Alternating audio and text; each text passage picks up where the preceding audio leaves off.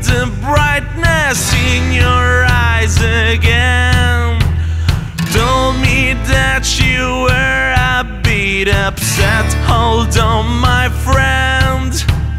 I would like to see the brightness in your eyes again.